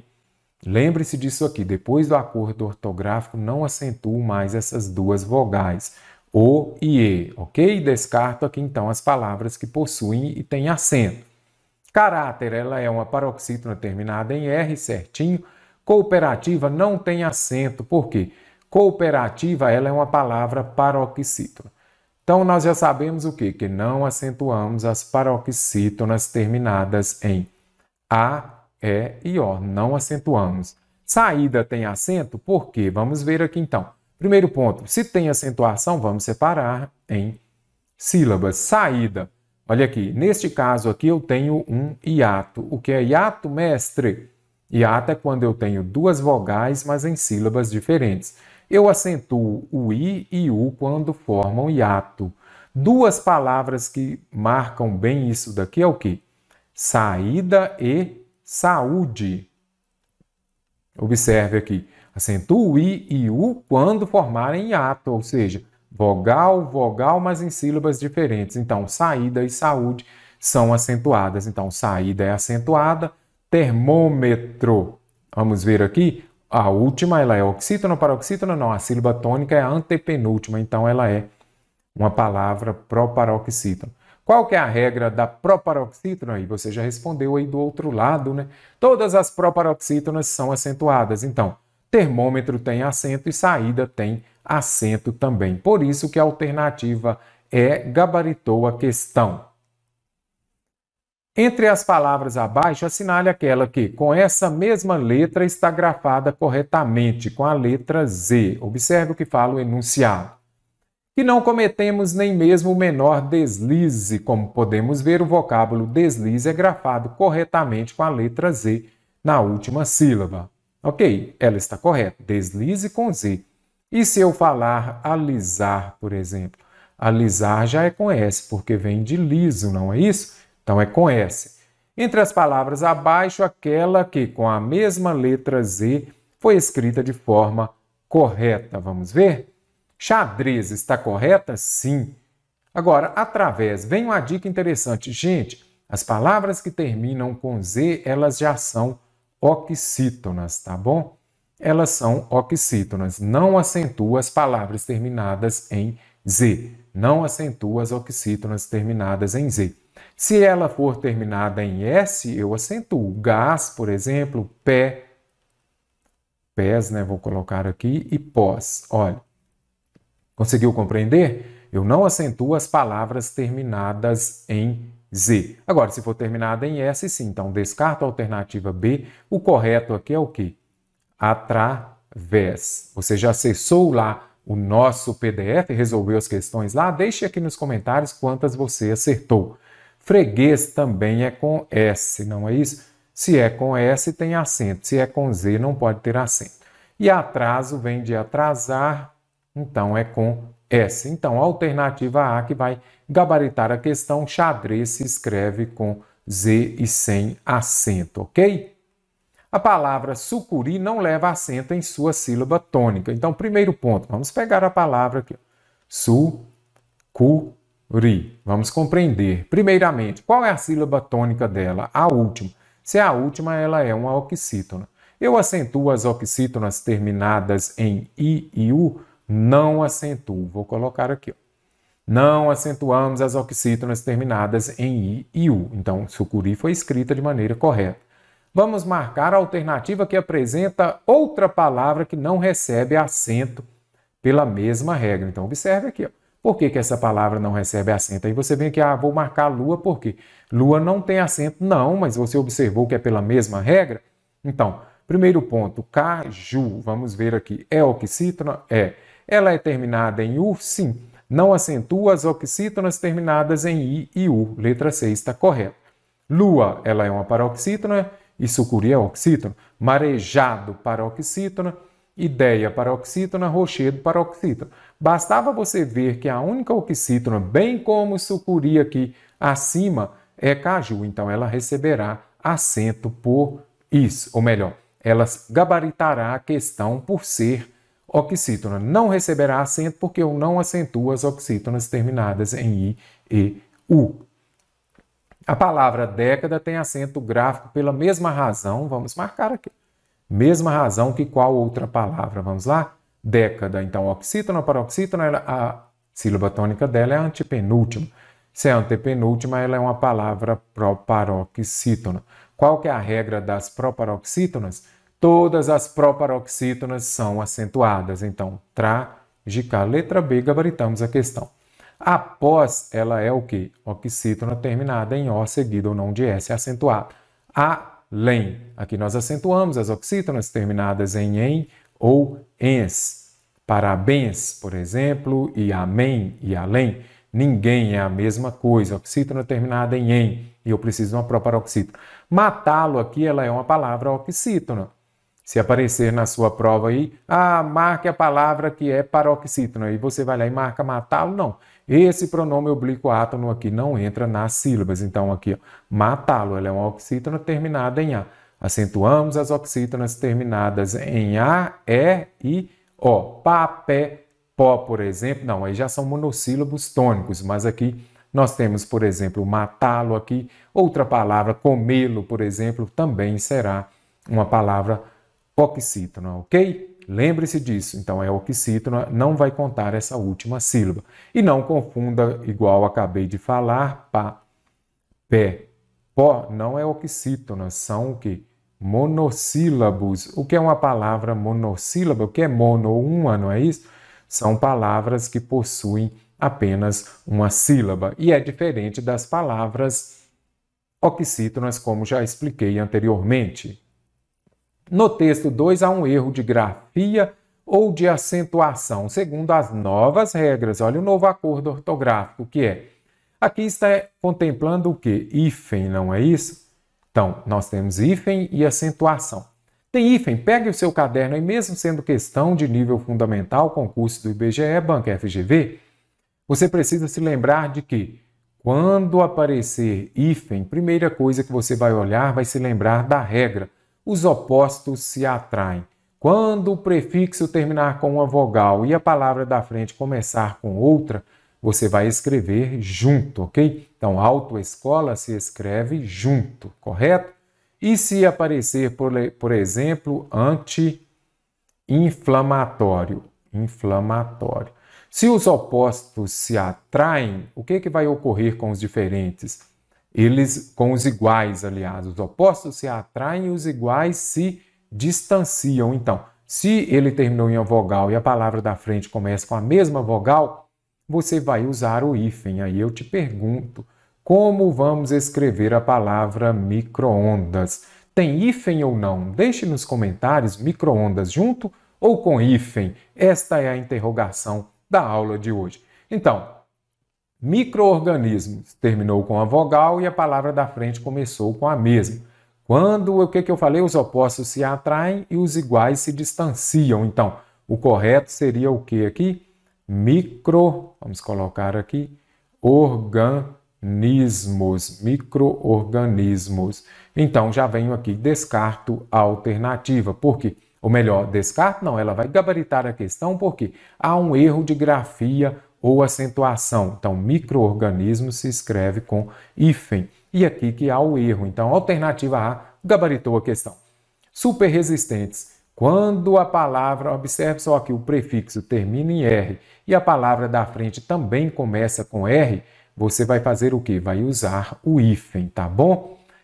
Memorizou? Quando o prefixo termina em R e a palavra da frente começa com R, você vai usar o hífen. E agora, se eu disser, por exemplo, a palavra antissocial, vou colocar aqui, antissocial. Como eu escrevo? Você vai observar o quê? E, por exemplo, antirrábica, rábica, a vacina antirrábica. Neste caso aqui, nós vamos observar o quê? Quando o prefixo terminar com a vogal e a palavra da frente começar com S, ou, ou R, aqui embaixo vai ser R. Quando o prefixo terminar com a vogal, a palavra da frente começar com R ou S, você vai dobrar o R ou S e vai ser sem hífen. Então, antissocial junto, antirrábica junto. Mini saia com dois S também. E por que, que super resistentes não foi? Porque aqui terminou com R e a da frente começou com R. Bactérias paroxítonas terminadas em ditongo são acentuadas. Bactéria, ciência, Mário. Antibióticos proparoxítonas são acentuadas, também está correto, aqui também está. Indústrias paroxítonas terminadas em ditongo são acentuadas. A única errada é microorganismos. Quero ver você responder como escreve microondas. Será que você escreveu certo ultimamente? Agora eu trouxe uma questão também de nível superior da banca FGV contemplando ortografia. Vamos marcar a frase em que a grafia da palavra sublinhada está correta. Não vejo por que os homens que creem em elétrons devam considerar-se menos crédulos. Este porquê aqui está errado. O correto seria não vejo porquê. Quando aparecer este porquê separado no meio da frase, você pode colocar, acrescentar ali razão, motivo. Não vejo a razão, não vejo o motivo dos homens que creem, correto? Então aqui não posso usar o porquê junto. Este porquê junto ele vai ter valor de explicação ou valor de causa lá nas conjunções, ok? Explicação ou causa. Não encaixa nenhum dos dois aqui. Não vejo porquê os homens, não vejo a razão Vou colocar aqui. Não vejo a razão, não vejo o motivo. As universidades são lugares onde ou aonde. Gente, você vai usar aonde somente com um verbo que exige a preposição a. Por exemplo, fui aonde você estava. Porque quem vai, vai a algum lugar. Então, muitos falam, alguns professores falam ah, com os verbos que indicam movimento. Com os verbos que exigem a preposição a. E aqui as universidades são lugares, não exige a preposição a, então o correto seria onde? A educação deve ter algo a ver, a ver com H, ou o correto seria a ver dessa forma. Esse a ver aqui sem H e separado vai ser o mesmo que relacionado com, vamos ver se dá certo? Então observe. A educação deve ter algo relacionado com a tolice dominante nas crianças. Então correto aqui seria haver separado e sem acento. Existe a ver com H e junto, por exemplo, aqui, ó, ter a ver, eu posso falar, ah, ele tem a ver com H? Sim. É quando estiver relacionado a ter uma quantia a receber, por exemplo. Ah, eu tenho a ver no restaurante da esquina. E sim, a ver com H e escrito junto, ok? Então, é, nem todos os professores estão afim. Afim junto é, é o mesmo que semelhante.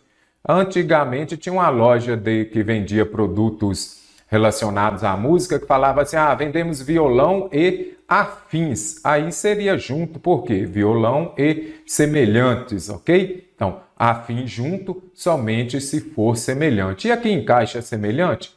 Nem todos os professores estão semelhante de fazer seus alunos, não.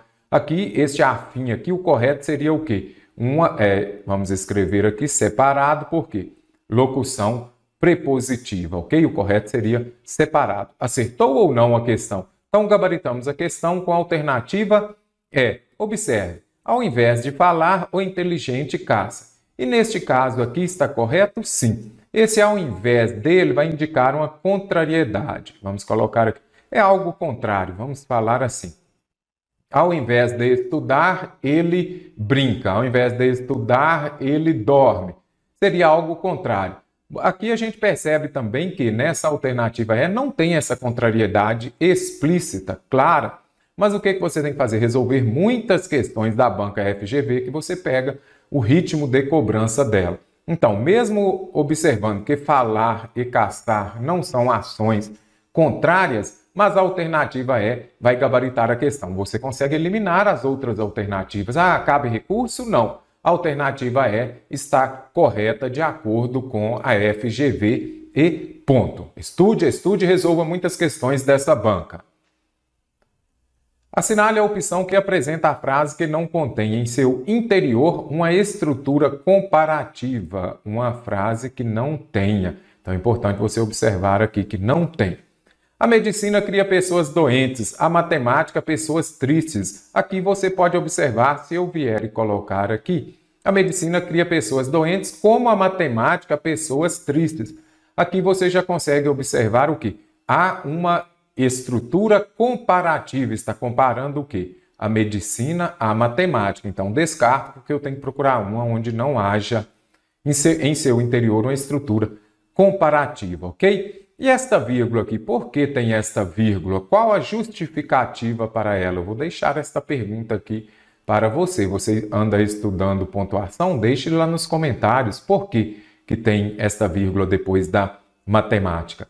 As grandes doenças da alma, bem como aquelas do corpo, então aqui estamos comparando o que? As doenças da alma com aquelas do corpo. Então aqui tem uma ideia também de comparação. A doença é o preço que a alma paga por ocupar o corpo, como o aluguel. Aqui eu estou comparando o que? A doença com o aluguel. Então aqui tem uma ideia de comparação também. Vou descartar a alternativa C. Até aqui está tranquilo? Tranquilo? Está gostando da aula? Deixe nos comentários, dê um like também e inscreva-se neste canal.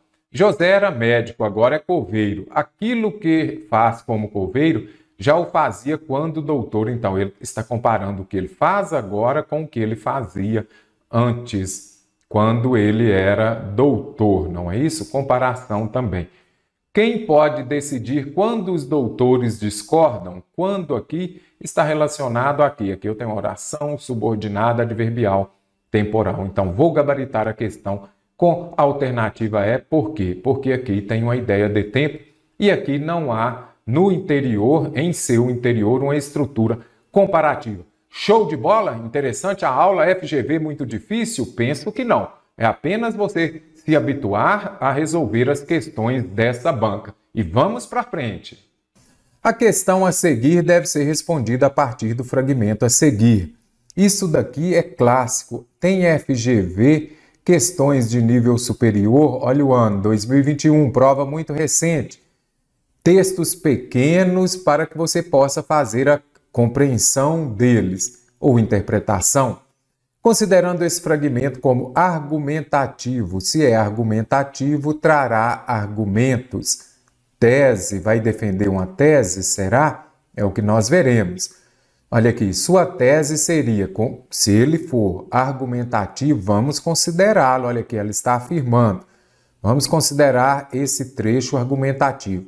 Qual seria a tese? Ele defenderia a ideia. Quando fala tese, ele defende a ideia de que é isso aqui. O que ele defende? Vamos ler? O boi, substantivo masculino, com que nós acudimos às urgências do estômago, ou seja, o boi, a carne do boi serve para matarmos a fome. Pai do rosbife, isso quer dizer que o rosbife é derivado, ele é feito do boi. Rival da garoupa, garoupa é aquele peixe, não é isso? Um peixe bem grande entre pacífico e filantrópico. Pacífico é aquele calmo, sereno, ele é pacífico. Filantrópico nos remete à filantropia. Filantrópico seria o quê? Solidário, generoso? Será que daria correto? Será que daria certo, aliás, né? Solidário, generoso. Não é justo que viva, isto é, que morra obscuramente nos matadouros Machado de Assis. Precisamos de compreender, está falando aqui do boi, que ele nos acode, não é isso? Ele nos acode com a carne para matar a fome, ou seja, ele oferta a carne que comemos, ele é pai do rosbife, rival da garoupa, entre pacífico e filantrópico, não é justo que viva, que é bem interessante. Aí ele já muda de ideia, isto é, que morra obscuramente nos matadouros. Então, não é justo que ele, vi, que ele viva? Não. A ideia, quando fala que a tese que ele defende seria o quê? Não é justo que ele morra de forma obscura nos matadouros. Considerando esse fragmento como argumentativo, sua tese seria: devemos acabar com os matadouros? É essa a ideia defendida pelo autor Machado de Assis? Não, ele fala o quê? O que, que ele defende? Não é justo que o boi, que os bois morram de forma obscura nos matadouros. Precisamos modificar nossa alimentação. Nós comemos a carne do boi. Mas ele está falando aqui, ó, não é justo que as pessoas comam a carne do boi. Deveriam parar de comer a carne do boi. Não tem essa informação, gente. FGV vá filtrando ali e eliminando essas alternativas, mas precisa de ter muita atenção. Primeira coisa, compreenda o trecho, geralmente é isso aqui mesmo. Pequenos trechos você vai compreendê-los para você resolver as outras. Ele defende a ideia de que não é justo matar o boi nos matadouros. Olha aqui.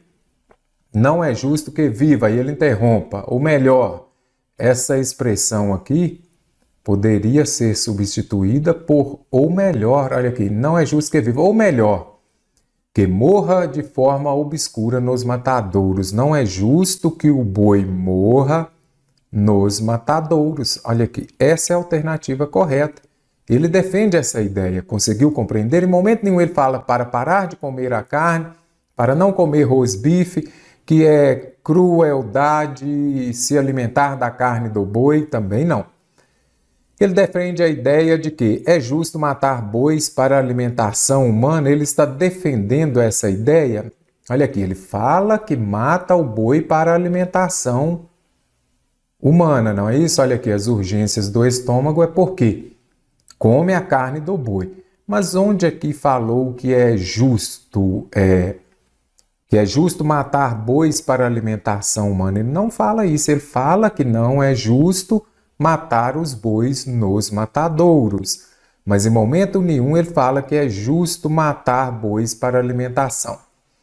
Ah, mas aqui ele está falando que a carne do boi serve para matarmos, as, matarmos a nossa fome.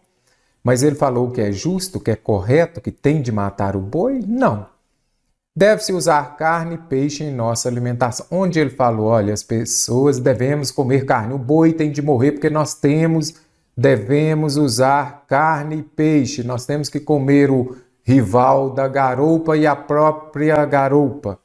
Não, em momento nenhum, ele fala isso, certo? Isso daqui é muito interessante. Você precisa de compreender. É compreensão de texto? Você vai entender e vai filtrando. Observe aqui as informações. Olhos de lins, fique muito atento a cada palavra, ok? Ainda sobre o mesmo fragmento, assinale a alternativa inadequada. A expressão isto é foi empregada para justificar um termo anterior? Vamos ver? Não é justo que viva, isto é, que morra obscuramente. Neste caso aqui, esta expressão, a expressão isto é, ela é usada para explicar algo. Pode ser substituída por ou melhor, daria aqui ou então quer dizer, vamos ver se dá para substituir? Não é justo que viva, ou melhor, que morra. Não é justo que viva, quer dizer, quero dizer, que morra obscuramente. Então, ela veio usada para justificar? Não, ela veio para é, explicar o termo anterior. Ou então poderia ser o quê? Para retificar Poderia também, nesse contexto? Poderia sim. Olha aqui quando ele fala: não é justo que viva, ou melhor, que morra. Então, ela foi usada para retificar algo que foi dito anteriormente e não para justificar. Ele não está justificando o termo anterior. A preposição com mostra valor de meio ou instrumento. Vamos ver aqui. O boi substantivo masculino com que nós acudimos às urgências do estômago. Nós acudimos às urgências do estômago com o boi. Então, olha aqui, com o boi, essa daqui está correta. E o que eu peço aqui, então, vou descartar essa, vamos retificar aqui, ó. O que a alternativa que eu vou marcar é a letra A. Por quê? Porque é ela que está errada, não é para justificar, e sim para retificar o que foi dito anteriormente. Lembrando que o isto é também pode ser usado para explicar.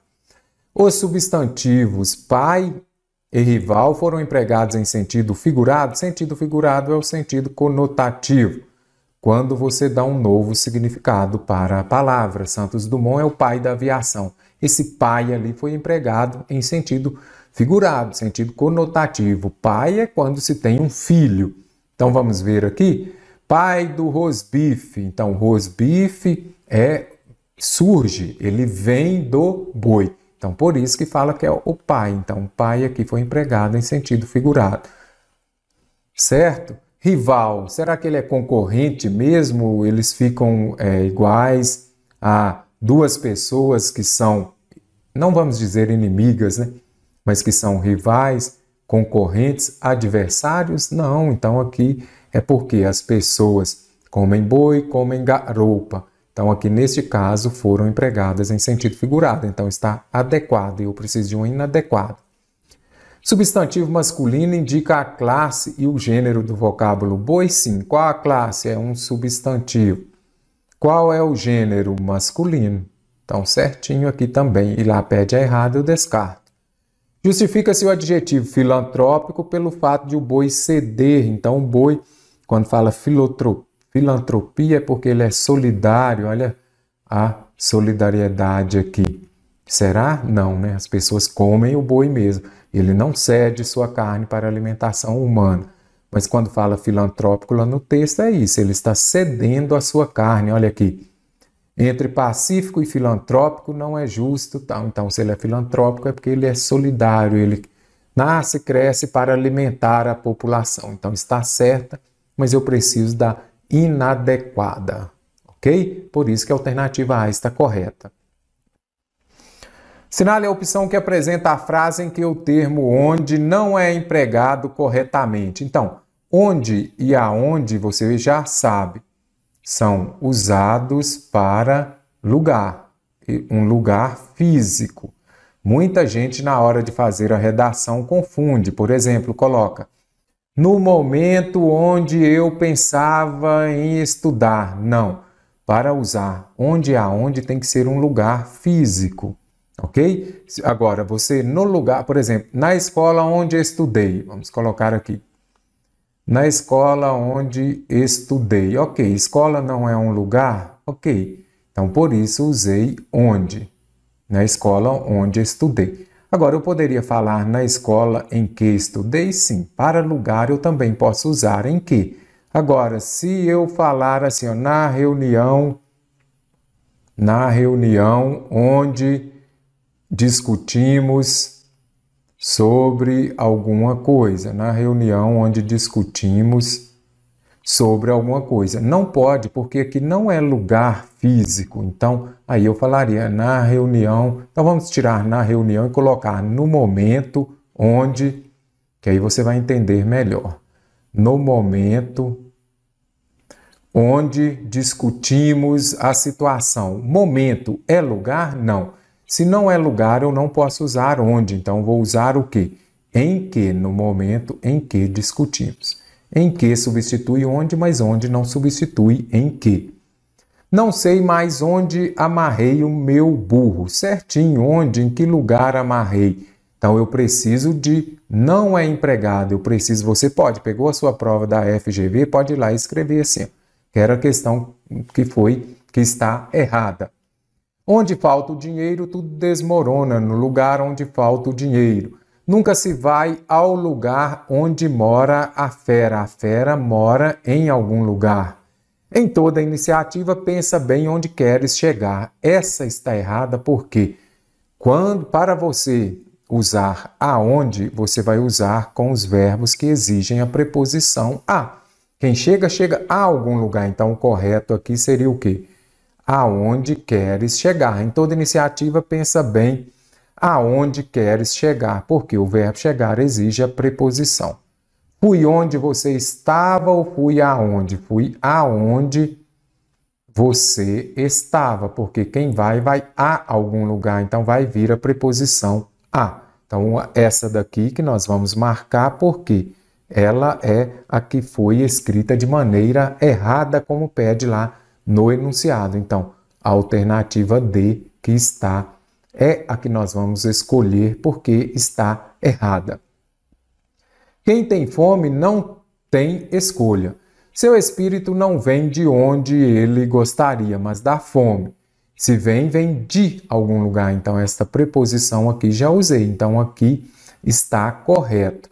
E eu não posso marcar essa alternativa porque pede a errada. Por quê? Faltou o A aqui, porque quem chega, chega a algum lugar. Cheguei ao rio. Em todas as frases abaixo ocorre uma troca em indevida do vocábulo sublinhado por seu parônimo. Falou parônimo é o quê? É uma, são as palavras parecidas. Certo? Por exemplo, emigrantes e imigrantes. Interessante você observar, são palavras parecidas, mas que são grafadas de maneira diferente e possuem significados diferentes. Imigrantes são aqueles que vão para o exterior, imigrantes são aqueles que vêm para o interior, que vêm para o nosso país, por exemplo. O motorista infligiu como leis do trânsito. Seria, estaria correto aqui infligiu? O que é infligir? Seria o quê? Aplicar. Ele aplicou as leis do trânsito? Não. Então essa daqui está errada. Porque nós deveríamos usar o que? Infringiu, que seria o que? Ele infringiu as leis do trânsito, que seria o mesmo que violar, transgredir. Então aqui está errado. E eu tenho que, tenho que buscar o que? A única das frases cuja forma de vocábulo sublinhado está correta é o prisioneiro dilatou. Dilatar é derreter. O correto seria o quê? Delatou. Olha a delação premiada, que é quando entrega o outro na linguagem popular. Então aqui está errado. O correto seria delatou, que seria entregar a outra pessoa. Não há nada que desabone sua conduta imoral. Não há nada que desabone, se já é imoral, não. O que você abona é algo moral, não é isso? Não há nada que desabone sua conduta moral. Se é imoral, já está desabonada, não precisa mais. A cobrança é bimestral, ou seja, duas vezes por mês. Duas vezes por mês é algo bimestral? Não. Se é bimestral, está se referindo a dois meses. FGV, muita atenção, fique atento. Olha, ah, bimestral duas vezes por mês errado, nada disso. Bimestral são dois meses. Os cumprimentos, aqui seria o quê? As saudações devem ser dadas na entrada da festa. Então, aqui está correta a alternativa. Por quê? Cumprimento, saudação. Comprimento que é de extensão, veículo longo, 30 metros de comprimento, de comprimento. Aí está relacionado ao tamanho, medida, mas cumprimentos, saudações. Conseguiu gabaritar essa questão? Deixe nos formulários, nos comentários, inscreva-se aqui também no nosso canal. Na frase, a natureza faz o homem feliz e bom, mas a sociedade o corrompe e, torna, e torna-o miserável. A conjunção mas pode ser substituída por. Aí você vai falar mas. Ah, o meu professor lá do ensino fundamental ao falar mas, porém, contudo, no entanto, entretanto, todavia. Colocar só esses daqui. Indicam o quê? Uma oposição. Oposição. Então aqui já ficou fácil para você compreender. O que quer dizer uma oposição? É ser algo oposto àquilo que foi dito na oração anterior. É interessante você compreender isso daqui, porque quando tem conjunção, você precisa de estudar, porque é um assunto mais um pouquinho mais complexo. Então, mas, ah, mas eu não me lembrava que eu poderia substituir o mas por contudo, que é o nosso gabarito, a letra E. Aí você precisa de compreender a ideia de oposição. A natureza faz o homem feliz e bom. Ok, está indo em uma direção, tudo certo. Mas a sociedade o corrompe. Então ele é bom e feliz, mas aqui corromper já é algo oposto. Então por isso a oposição, essa conjunção, ela expressa uma ideia de oposição. Então, mas, porém, contudo, no entanto, no entanto, entretanto, todavia. Aqui ficou bem fácil porque já você se lembra que contudo também é uma adversativa igual mas.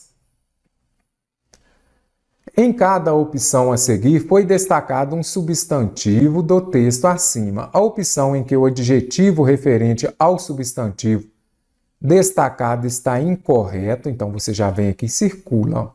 Em qual alternativa o adjetivo referente a determinado substantivo está incorreto? Vamos ver? Nas salas com livros e materiais necessários, olha aqui, adjetivo necessário. Adjetivo, ele está se referindo aqui aos livros e os materiais. Então aqui está certo, eu preciso da errada já posso vir e descartar essa primeira.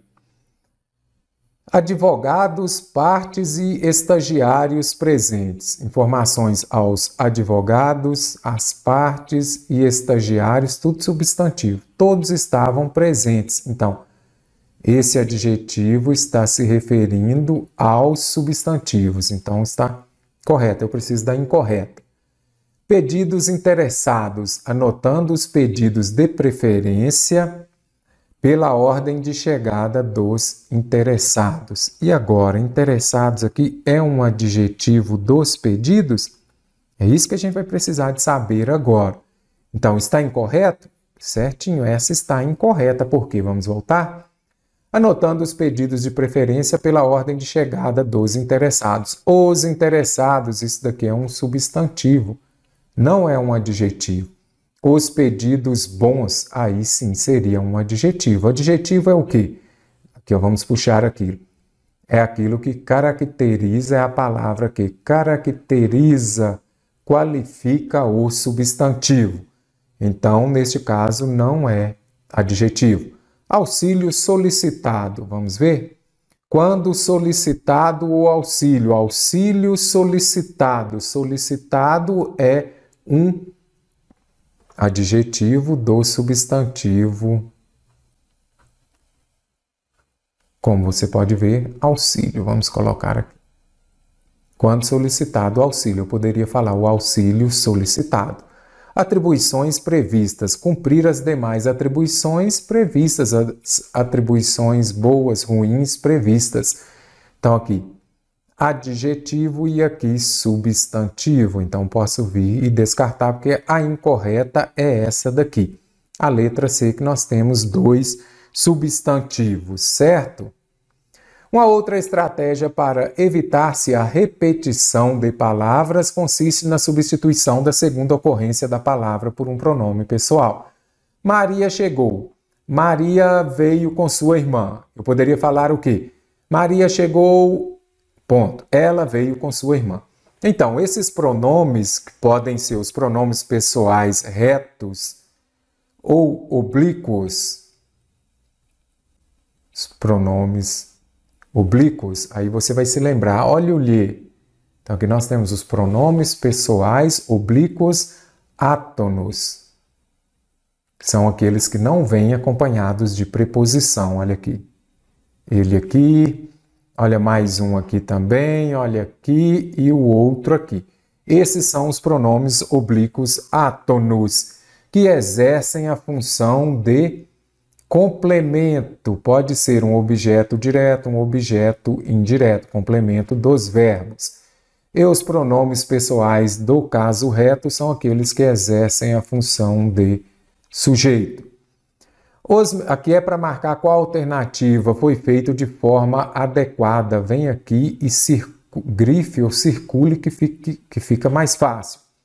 FGV, em determinado momento, ela cobra a correta ou a incorreta, e você vai no automático e pode errar por não ter prestado atenção no enunciado da questão. Vamos ver?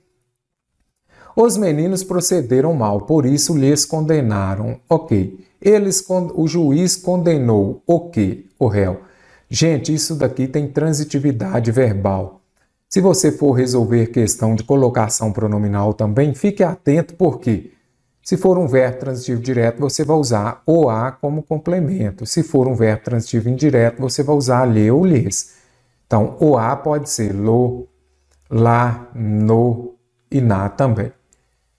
Já facilita muito. Eles condenaram o que? É, os meninos. Condenaram quem? Os meninos. Se é verbo transitivo direto, eu não posso usar lhe ou lhes. Já venho aqui e descarto. Comprei o livro ontem, mas vou, mas vou revender Vamos pegar aqui, vamos colocar aqui. Mas vou revender. Aí eu vou falar, vou revender ele, não posso, vou revender o livro. Vamos evitar a repetição? Quando a, o verbo termina em R, você retira o, o R, vem aqui, coloca o acento e põe o L.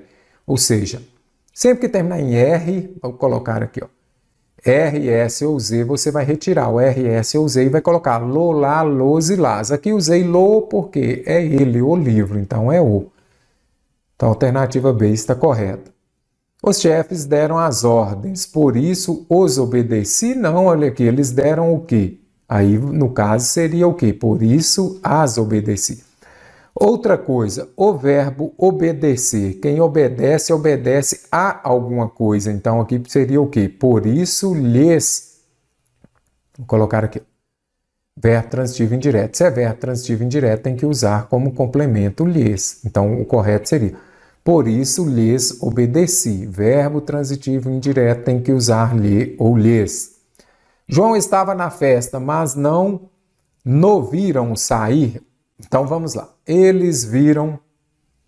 Quando termina em M, lá no alfabeto a ordem não é MN. Se terminou em M o verbo, você já sabe, você vai ter que usar o N. Então é viram no. João é ele, eu não posso falar viram ele, eu falo viram no. Então aqui está correto? Não no viram? Ok, vamos retirar o não. Se não tivesse, sim, mas é, ouviram sair. Do mesmo jeito, o que, é que você tem de compreender aqui? Aqui já entra a colocação pronominal, é um caso de próclise. Se é próclise, o pronome vem antes do verbo. Como ele veio antes do verbo, eu só uso o. Para você fazer lá no alfabeto MN, aí você vai usar logo depois. Se não tivesse aqui o mas, se não tivesse o não, por exemplo. E viram no sair. Mas como veio para antes, aí você não usa o N, ok? Você só usa o M depois do N lá no alfabeto, não é assim? Então descarta. As meninas estavam no shopping, mas não encontrei lá. Acabei de falar lá em cima, se o verbo terminar em RS ou Z, vou colocar aqui de novo. RS ou Z que você vai usar lo, lá, los e las, não é isso? Então, Aqui não terminou, então nada justifica. Então, o correto aqui é mas não as encontrei. Não posso usar o L porque eu não tenho R, S ou Z. Também pode evitar-se a repetição das palavras idênticas, substituindo a segunda ocorrência do vocábulo por um pronome demonstrativo. Quais são os pronomes demonstrativos? Esse, aquele, isso, por exemplo, este também, aí você já sabe. A frase abaixo em que foi feito de forma adequada vem aqui, já circula e coloca que foi feita de forma correta. Qual alternativa que nós podemos marcar aqui? Vamos ver? Amazonas e Sergipe são estados brasileiros. Este, olha aqui, sempre aparece este e aquele. O que, que você vai lembrar? Este é para o que ocorre primeiro, o que ocorre aqui mais próximo. Vamos mudar aqui. Ó. Este é aquele que está mais próximo. E aquele é o que vem primeiro, que está mais longe. Então vamos ver? Amazonas e Sergipe são estados brasileiros. brasileiros. Este tem enorme território e aquele é pequeno. A gente já sabe quem é grande Amazonas. Então vou colocar aqui Amazonas enorme, Sergipe pequeno. Aí já ficou mais fácil. É quase uma matemática isso daqui da FGV, né? Então, quem é enorme? Amazonas. Então, na realidade, eu deveria falar o quê? Este que está se referindo a Sergipe, que tem pequeno território. E Amazonas, aí eu já usaria aquele enorme. Vou, re, vou sintetizar. O que, que você usa? Este é para aquele que está mais próximo. Então, o mais próximo é Sergipe. Sergipe é pequeno, então este tem pequeno território. Aquele é usado para aquele que foi falado primeiro. Então, Amazonas, não é isso? O Amazonas não é enorme? Então, aqui deveria ser usado no lugar de pequeno a palavra enorme, porque está se referindo ao Amazonas. Então, aquele seria qual estado? Amazonas. E este está se referindo ao que foi dito por último aqui, aquele mais próximo, Sergipe. Então essa está errada. Meu carro é mais elegante que esse que você está comprando. Então vamos lá. Este é para estar perto de quem fala. Esse parece lá do ensino fundamental, mas as bancas cobram muito, longe de quem fala. Então aqui já dá para entender o que? Meu carro é mais elegante que esse que você está comprando. Então você, esse está perto de você. Então esse é usado para aquele que está longe de quem fala. Então a alternativa B está correta. Teu jornal abordou o tema de forma interessante, mas aquele em minhas mãos não, se está perto aqui de quem fala é este. Brasil e Rússia jogaram várias vezes. Mas aqueles jogos nunca foram violentos. Mas por quê? que eu usaria aqueles? Está distante aqui dos dois? Não. Eu falaria o quê? Já que eles jogaram, então, mas esses jogos nunca foram violentos. O terremoto de Lisboa foi violentíssimo, mas aquele de agora matou mais gente. Mas aquele de agora não, agora é este. Então, vou usar porque o que está ocorrendo no tempo presente. Vamos voltar aqui. Se é tempo presente, eu uso este. Este mês é longo. Este livro que está perto de quem fala, mas aqui está relacionado ao tempo. Se é o tempo presente, como eu disse aqui, você vai usar este, correto? Então aqui já descarto também, porque eu preciso da adequada. Esse carro aqui é o carro que você está comprando, então ele está perto de quem ouve. Por isso que eu usei esse. Então, esse está correto, certo? A frase que exemplifica um caso de linguagem figurada, linguagem figurada você já sabe, é o sentido conotativo. quando você dá novo significado às palavras. Por exemplo, João é uma pedra no sapato de. Pedra no sapato, no meu sapato. Vamos colocar aqui. Será que João é uma pedra mesmo, uma rocha? Não, aquele é o que? Um empecilho, é algo que atrapalha, não é isso? Que impede alguma coisa de acontecer. Então, pedra aqui foi usada a palavra no sentido figurado. Tudo está muito bem nas férias do fun dos funcionários, certo? Aqui tudo no sentido próprio. Férias, momento de lazer, bem, servidores, funcionários. E eu preciso de uma que esteja no sentido figurado. Vamos ver. O livro foi publicado com 200 páginas, também sentido próprio, nada de sentido figurado. O chocolate saboroso também sentido próprio. Aqui já é mais fácil, né? Tudo correu às mil maravilhas. Vamos contar então uma maravilha, duas maravilhas, três. As mil maravilhas é porque tudo correu bem. Ah, o relacionamento dele corre às mil maravilhas. Indica que é algo que está fluindo bem, que está ótimo. Então aqui usei palavra em sentido figurado, correto? É mais fácil de gabaritar a questão. Nada acontece por acaso, também sentido próprio. Posso descartar também porque eu precisava de uma no sentido figurado.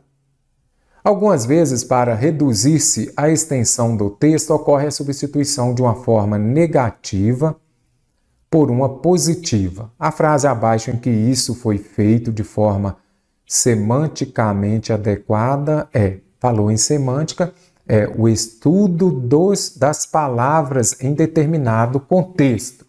Então vamos ver aqui. Na realidade aqui são palavras antônimas que vai substituir o que? Uma forma negativa por uma positiva os projetos não avançaram nas comissões. Então vamos pegar aqui e grifar. Nós podemos substituir não avançaram por qual outra palavra. É isso que pede o enunciado. Os, se eles não avançaram, indica que eles recuaram? Não. Se ele não avançou, ele está estagnado, ele está parado. E se você está parado, você está recuando? Não. Então aqui já descarto. Eu quero ver uma que vou substituir a forma negativa, olha aqui, por uma positiva. É, vejo que os candidatos não foram chamados. Ok, eles desistiram? Não. Você fez um concurso e não foi chamado. Você desistiu dele? Não. Então aqui não foi, essa substituição não foi feita de maneira equivalente. Os turistas, aí você já grifa, não foram bem recebidos. Ah, não fui recebido na festa. Você foi expulso? Não. Você chegou, entrou e as pessoas não te acolheram, não conversaram com você, mas não te expuls não expulsaram você. Os estudantes não continuaram no curso. Eles fracassaram, ok. Eles não continuaram, não deram sequência. Isso é um fracasso? Também não. O presidente não aceitou o convite. O presidente declinou do convite. E agora, o que quer declinar de alguma coisa é o mesmo que recusar. Se você não aceitou, você recusou. Declinar de alguma coisa é o mesmo que recusar. Vamos colocar aqui rejeitar também. Então, a alternativa é esta correta. Não muito difícil, mas que requer muita atenção. Vai substituir a forma negativa por uma positiva equivalente. Se você não aceitou o convite, você rejeitou. Se você não avançou, você não indica que você recuou, você ficou parado. Recuar é andar para trás. A frase abaixo em que ocorre ambiguidade, que vai gerar uma dupla interpretação. Ninguém mais os encontrou de novo. Ok, não encontrou, ninguém encontrou. Não tem duplo sentido. O cargo de oficial de justiça é importante. Ok, o cargo é importante. Dá para compreender de outra maneira? Não. A nomeação do ministro foi surpreendente. Ok, o ministro foi nomeado. Tudo foi organizado para o julgamento. Ok, organizou-se tudo para o julgamento.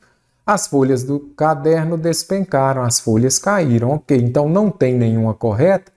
Lógico que tem, já fiz assim para você. Por quê? EFGV, questão nível superior, é bem puxada. Então, ambiguidade você tem que ler, é quase uma matemática.